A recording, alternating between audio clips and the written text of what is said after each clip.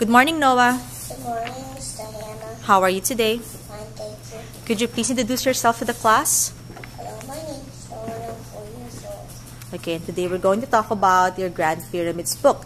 So just be asking you some questions and answer them in full sentences and talk as loudly and as clearly as you can. Okay? Alright, so my first question is, in which country can you find the Grand Pyramids?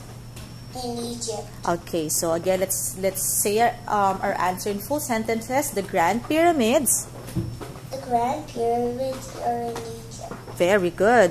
Okay, so zooming into to the Grand Pyramids, could you please tell us in full sentence and as loudly and as clearly as you can the shape of the Grand Pyramids? Grand Pyramids are triangles. Very good.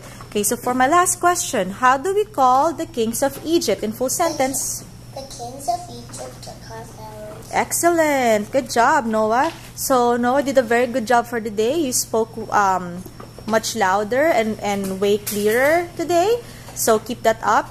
And I appreciate how you um, answered in full sentences and how you had good um, posture and eye contact. So keep it up. Friend, it's also a good job, Noah. Thank you, friend. Take a bow.